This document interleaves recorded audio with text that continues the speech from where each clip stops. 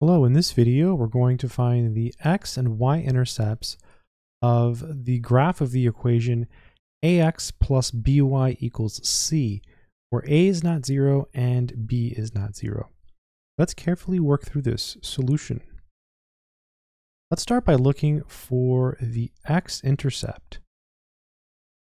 So to find any intercept, you set the other variable equal to 0.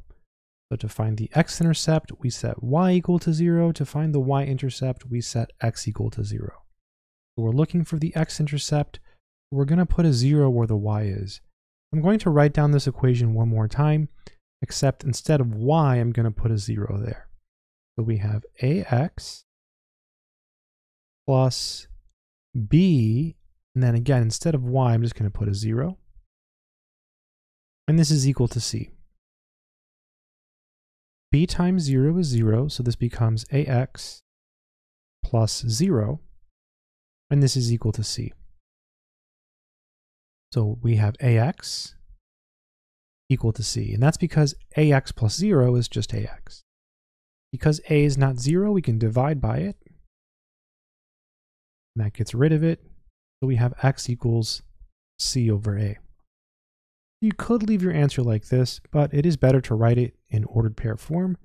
As an ordered pair, we know that x is equal to c over a. That's the first coordinate in our ordered pair. And we know that y is equal to 0.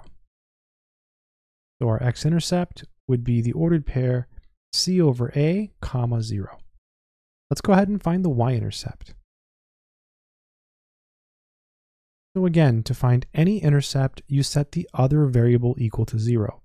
So to find the y-intercept, we're going to set x equal to 0. I'm going to write down this equation one more time, but I'm going to put a 0 where the x is instead of putting an x. So it's a times 0 plus by, and that's equal to c. a times 0 is 0, so we get 0 plus by equals c. 0 plus by is just by, we get by equals c. And because b is not 0 and y is being multiplied by b, we can divide by b to get rid of it. We get y equals c over b. And you could leave it like this, but I think it's always better to write it as an ordered pair. We know that x is 0.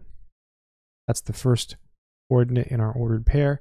And the second coordinate would be c over b. So the y-intercept would be 0 comma c over b. The main point to take away from this video is whenever you're looking for an intercept, you set the other one equal to 0. If you're looking for the x-intercept, you want to set y equal to 0. If you're looking for the y-intercept, you want to set x equal to 0. Hopefully this video has taught you some mathematics. If you feel like you've learned some math, make sure to check out more videos. Until next time, good luck.